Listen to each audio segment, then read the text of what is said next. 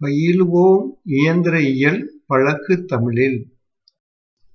அண்ணா பல்கலைப் பாடங்கள் பழகுத் தமிழில்!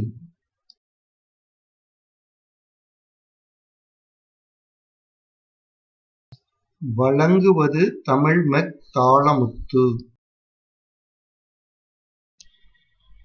Hi students, இன்று MA six four zero four thermal இன்ஜினியரிங்கில் second unit IC engines பார்த்துட்டு இருக்கோம் இது module two point three three இது வந்து ஒரு டிஸ்கிரிப்ஷனாக கேட்டிருக்கேன். டிஸ்கிரைப் மெயின் மேட்ரிங் சிஸ்டம் நம்ம இப்போ கம்ப்ளீட் கார்பரேட்டரில் இருக்கிற சிஸ்டம்ஸ்லாம் தனித்தனியாக பார்த்துக்கிட்டு இருக்கோம் அதில் ஒன்று தான் மெயின் மேட்ரிங் சிஸ்டம் நம்ம முன்னாலேயே படிச்சிருக்கிறோம். ஒரு ஆவரேஜ் ஸ்பீட் அதாவது பாத் த்ராட்டில் ஸ்பீடுக்கு போய்கிட்டு இருக்கும்போது sixty seventy kilometre per hour போய்கிட்டு இருக்கும்போது நமக்கு வந்து சிக்ஸ்டீன் இஸ்டு ஒன்கிற ரேஷியோவில் ஏர் ஃபியல் மிக்சர் இருந்தால் கூட போதும்னு பார்த்தோம். இப்போ நம்ம அதுக்கும் மேலே ஹை ஸ்பீட் போகிறோம் இப்போ நம்ம சொல்கிறதெல்லாம் நீ வந்து டூ வீலரை நினைக்கக்கூடாது. கார் பார்த்துக்கலாம். காரில் eighty ninety hundred kilometres hour per ஹவரில் போய்கிட்டு இருக்கோம்னு வைய அப்போ என்ன வேணும்? அதுக்கு ரிச் மிக்சர் வேணும். அதுக்கு நம்ம டுவெல் இஸ்டு ஒன்ங்கிற அளவுக்குனாலும் ஏர் ஃபியல் மிக்சர் வேணுங்கிறது படிச்சிருக்கிறோம். அப்போ சாதாரணமாக போய்கிட்டு இருக்கும்போது குறையா இருக்கணும். அது வந்து சிக்ஸ்டீன் இஸ்டு ஒன்னாக இருக்கணும்.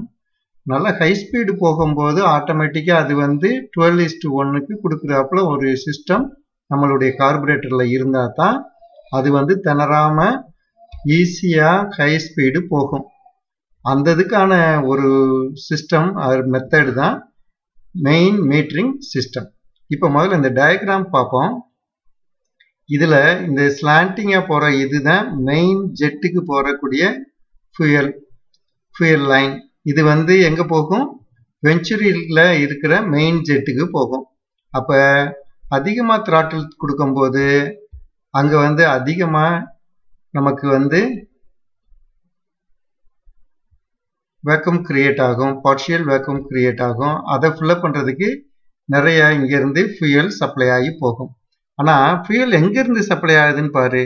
இந்த பக்கம் இருக்கிறதெல்லாம் வந்து ஃப்ளோட் சேம்பரில் இருக்கிற ஃபியூயல் அந்த ஃப்ளோட் சேம்பரில் இருக்கிற ஃபியூயல் வந்து இந்த இடத்துல இருக்கிற ஓட்டை வழியே கூடி போகுது. இந்த ஓட்டைக்கு என்ன பேர்? மேட்ரிங் ராட் ஜெட்டு இந்த ஜெட்டுங்கிற ஓட்ட வழியை கூடி தான் போய்கிட்டு இருக்கு. அந்த ஓட்ட வழியை போகிறதுக்கு ஒரு தடுப்பு கணக்க நடுவில் ஒரு மீட்டரிங் ராடுங்கிறது ராடு இருக்கு. இந்த ராடும் ரெண்டு ஸ்டெப்பாக இருக்கு. ஒன்று வந்து அதிக டயமீட்டரில் இருக்கு ஒன்று கீழே இருக்கிறது வந்து சின்ன டயமீட்டராக இருக்குது. இப்போ இதுக்குள்ளே போகிற பெட்ரோல் அளவுக்கு இந்த ராடை வச்சு ஏதாவது கண்ட்ரோல் பண்ண முடியுமாப்பா? இப்போ இந்த ராடை உள்ளே இறக்குறோம்னு வச்சுக்க கீழே இறங்கிடுது அப்போ இந்த அதிக டயமீட்டர் இருக்கிறது எங்கே வரும்? இந்த இடத்துக்கு வந்துடும் அப்போ இந்த ஓட்டை வந்து சின்னதாயிரும். அப்போ ஓட்டை சின்னதாயிருச்சுன்னா கொஞ்சம் பெட்ரோல் தான் போய்கிட்டு இருக்கும் அப்போ நார்மலாக நம்ம ஒரு சிக்ஸ்டி செவன்ட்டி கிலோமீட்டர் ஸ்பீடில் போய்கிட்டு இருக்கும்போது இந்த மீட்டரிங் ராடு வந்து எப்படி இருக்கும்? கீழே தனிவாக இருக்கும். அப்போ வந்து நார்மலாக நமக்கு வந்து லீன் மிக்சராக சிக்ஸ்டீன் இஸ்ட் ஒன்கிற ஏர் ஃபியூயல் மிக்சர் கிடச்சிக்கிட்டே இருக்கும். இப்போ நம்ம ஆக்சிலேட்டர் படலை கூட கூட மிதிச்சுக்கிட்டே வர்றோம். நம்ம ஸ்பீடு இன்க்ரீஸ் ஆகிக்கிட்டே போகுது. அப்படிங்கும்போது இந்த மீட்டர் ராடு வந்து கொஞ்சம் கொஞ்சமாக மேலே ஏறிடும் அதுக்கான கனெக்ஷன்ஸ் வந்து நம்மளுடைய ஆக்சிலேட்டர் பெடலோட கனெக்ட் பண்ணியிருப்பாங்க லிங்க் அந்த லிங்க்னால இந்த ராடு வந்து கொஞ்சம் கொஞ்சமாக மேலே போகும்போது இந்த ஸ்மால் டயமீட்டர் இருக்கிற பகுதி இந்த இடத்துக்கு வந்துடும் அப்போ ஸ்மால் டயமீட்டர் இருந்துச்சுன்னா இந்த ஹோல்ஸ் வந்து பெருசாயிடுச்சுன்னு அர்த்தம். இது வழியே கூட நிறைய பெட்ரோல் உள்ளே போகலாம். அப்போ நிறைய பெட்ரோல் போகிறது இந்த வழிய பாதையில் போய் அங்கே மெயின் ஜெட் வழியாக உள்ள வெஞ்சுரிக்கு போய் அது பிறகு நம்மளுடைய சிலிண்டருக்குள்ளே போகுது. அப்போ ஹை ஸ்பீடு நமக்கு கிடைக்குது. அதுதான் டெக்னிக் இதுதான் இந்த இதில் இருக்கிற ஒரு டெக்னாலஜி இப்போ இந்த இதை பார்ப்போம். At high speed engine requires rich mixture to meet the demand அந்த ஹை ஸ்பீடு போகும்போது அந்த இன்ஜினுக்கு வந்து ஹை எனர்ஜி தேவைப்படும். ஹை ஃபியல் ரிச் மிக்சர் தேவைப்படும். To supply rich mixture at high speed main metering system is included in a complete carburettor இந்த complete கார்பரேட்டர்னு சொல்லக்கூடிய மாடர்ன் கார்பரேட்டரில் மெயின் மீட்டரிங் சிஸ்டம்ங்கிறத எப்பயுமே இன்க்ளூட் பண்ணி வச்சுருப்பாங்க. Metering rod with stepped diameter an is placed in a metering rod jet இந்த ஜெட்டுக்கு பேர் வந்து மீட்டரிங் ராட் ஜெட் இந்த ராடுக்கு பேர் மீட்டரிங் ராடு இதில் வந்து ஸ்டெப்பில் இருக்குது ரெண்டு ஸ்டெப் இருக்குது டயமீட்டர் கொண்டு கூண்டது ஒன்று இருக்குது குறையா இருக்கிறது. இது வந்து நடுவில் சென்டராக பிளேஸ் பண்ணியிருக்கிறாங்க. அப்போ இந்த ராடு மூவ் ஆகிறத பொறுத்து இந்த இதுக்குள்ளே இருக்கிற ஹோலுடைய டயமீட்டர் வேரி ஆகும். இந்த சின்ன டயமீட்டர் இருந்துச்சுன்னா அதிக பெட்ரோல் வரும். இந்த பெரிய டயமீட்டர் உள்ளே இருந்துச்சுன்னா கொஞ்சமாக பெட்ரோல் இந்த ஜெட்டுக்கு போகும்.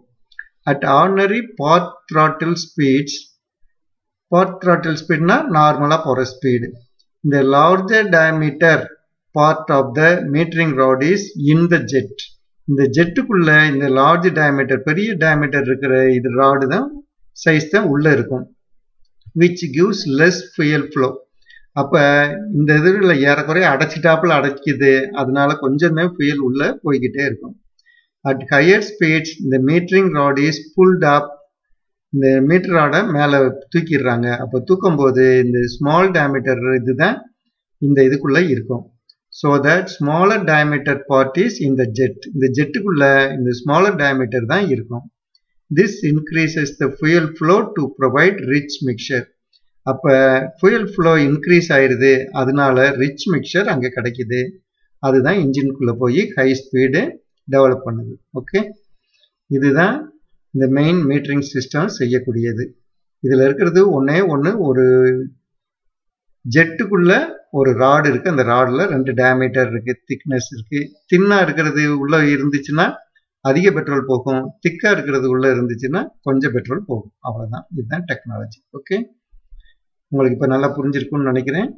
சி ஸ்டூடெண்ட்ஸ் என்னுடைய சேனல் வந்து ஏயு மேக் இன் தமிழ் இதுக்கு நீங்கள் சப்ஸ்கிரைப் பண்ணுங்கள் சப்ஸ்கிரைப் பண்ணி அதில் வர்ற பெல் பட்டனையும் கிளிக் பண்ணுங்கள் உங்களுக்கு ரிமைண்டர்ஸ் வரும். அந்த ரிமைண்டர்ஸ் மூலமாக வரிசையாக என்னுடைய மாடியூல்ஸை பார்த்துட்டே வந்தீங்கன்னா உங்களுக்கு சிலபஸ் முழுவதும் கவர் ஆயிரும். அப்போ நீங்கள் எக்ஸாம் ப்ரிப்பேர் பண்ணுறதும் சரி எக்ஸாம் போய் அட்டன் பண்ணுறதும் ரொம்ப எளிதாக இருக்கும்.